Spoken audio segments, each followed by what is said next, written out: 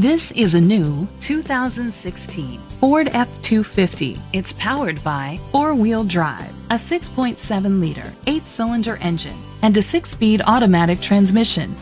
The features include a turbocharger, a power sunroof, internet connectivity, heated steering wheel, push-button start, leather seats, heated seats, heated rear seats, Bluetooth connectivity, a satellite radio, Safety was made a priority with these features. A backup camera, curtain head airbags, side airbags, brake assist, traction control, stability control, a passenger airbag, low tire pressure warning, front ventilated disc brakes, anti-lock brakes. Great quality at a great price. Call or click to contact us today.